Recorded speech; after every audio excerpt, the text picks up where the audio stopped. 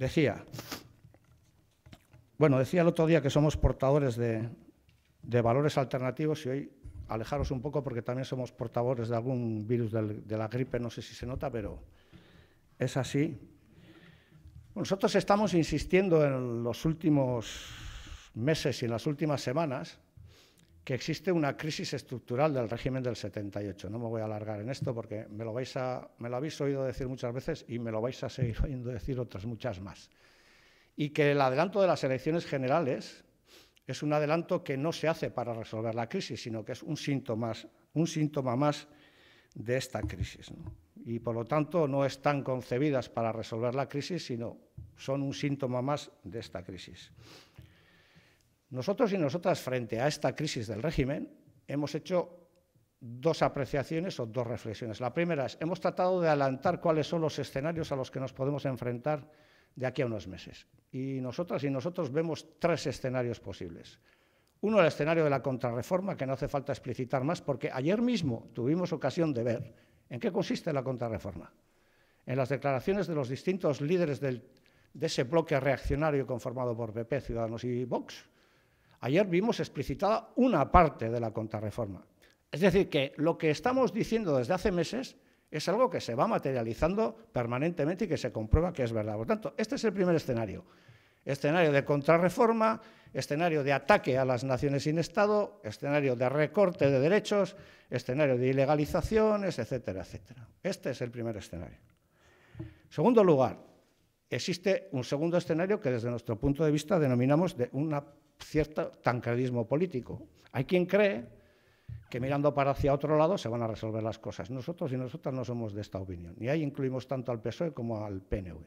Porque decir, como se dijo ayer, que por razones técnicas y jurídicas es imposible que el bloque reaccionario pueda hacer, por ejemplo, lo que ayer planteó con respecto a las policías, pues bueno, en un Estado en el que conocemos cuál es su jurisprudencia, la composición del Tribunal Constitucional, etcétera, pues suena un poco a chiste. Ellos tienen voluntad de hacerlo y si tienen voluntad de hacerlo, lo harán, salvo que este país y otros países del Estado se lo hagamos imposible. Y en tercer lugar, hay un tercer escenario posible, que es hacer frente a esta situación, pero avanzando, haciendo camino. Y esta es la posición que nosotros y nosotras compartimos en Euskal Herria Bildu y con el resto de izquierdas soberanistas del Estado, defendiendo un programa de mínimos. Y tuvimos la satisfacción el sábado de presentarnos con asturianos, con gallegos, con canarios, con catalanes, con aragoneses, etcétera, para decir, es tiempo de jugar esta partida juntos, desde la unidad, desde la defensa de un programa de mínimos. Y es tiempo de decirle a la gente que la izquierda soberanista en el Congreso y en el Senado tienen que ser determinantes. Tenemos que ser muchos y muchas y determinantes. Y ha querido el destino, o la crisis, o la propia evolución de la crisis en el Estado español, que ahora mismo el voto de Euskal Herria Bildu, el que representa a Marian, es el voto que inclina la balanza a la Diputación Permanente. ya somos determinantes en este contexto histórico. Y entonces lo que le decimos a la gente es, ¿qué pasa cuando la izquierda independentista es determinante? Pues pasan varias cosas. Uno, que se frena a la derecha, en cualquier caso, se frena a la derecha y dos, mejoran las condiciones de vida material de la gente y mejora el autogobierno nacional de los pueblos. Esto es lo que pasa cuando nosotras y nosotros somos determinantes.